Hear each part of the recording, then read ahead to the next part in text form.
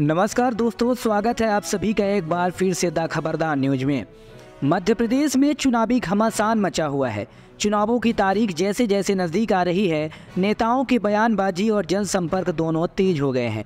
फिर चाहे वह भाजपा हो या कांग्रेस, दोनों एक दूसरे को नीचा दिखाने में और तंज कसने में पीछे नहीं हटते।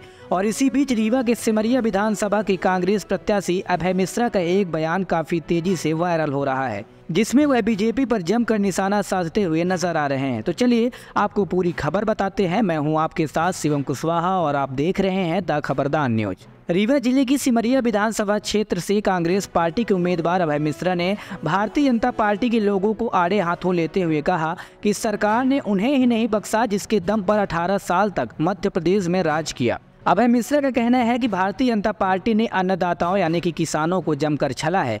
अपने जनसंपर्क अभियान के दौरान कई जगह अभय मिश्रा ने स्पष्ट रूप से आरोप लगाया कि जब बनी का समय होता है, तब किसानों को सहकारी समितियाँ से खाद नहीं मिलती। जब खेत सींचने का मौसम आता है, तब किसानों को नहर से पानी नहीं मिलता। अब ऐसे में किसान का जीविकोपार्जन कैसे हो? प्रदेश के मुख्यमंत्री शिवराज सिंह चौहान अपने आप को किसानों का बेटा बताते हैं, लेकिन किसानों की समस्या सुनने का टाइम नहीं है। पिछले पाँच साल से भाजपा के जनप्रतिनिधि ने किसानों के साथ किस तरह बर्ताव किया है, यह सब आपके सामने है। जरमोहरा कांड को लोग अभी तक नहीं भुला पाए हैं। महिला किसानों के साथ अत्याचार हुआ। मारपीट तक हो गई। यह पूरा घटनाक्रम किसके इशारे पर हुआ क्षेत्र की पूरी जनता सब जानती है। गाँव में आता हूँ तो लोग बताते हैं कि नहर में पानी तब आता है जब आधी फ़सल सूखने की कगार पर पहुँच जाती है। अभय मिश्र ने आगे कहा, अभी ही देख लीजिए, खेतों में बुआई शुरू हो चुकी है और खाद का कहीं अता पता नहीं है। पंद्रह दिन पहले सरकार कह रही थी खाद का पर्याप्त स्टॉक है। इन्होंने कहा कि भारतीय जनता पार्टी को लोग पूरा झूठ ही झूठ बोलते हैं। इस दौरान कई किसानों ने अपनी व्यथा भी सुनाई। मिश्रा ने विभिन्न गाँव में जनसंपर्क के दौरान यह भी स्पष्ट किया कि रीवा ज़िले में केवल सिमरिया विधानसभा क्षेत्र ही ऐसा इलाका है, जो शिक्षा, स्वास्थ्य के क्षेत्र में काफ़ी पिछड़ा हुआ है।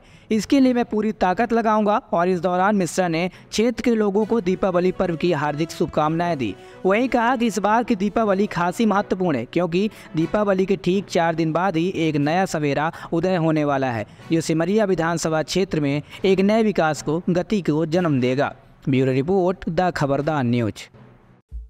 अगर आपको वीडियो पसंद आई हो तो वीडियो को लाइक करें, शेयर करें और हमारे चैनल को सब्सक्राइब करना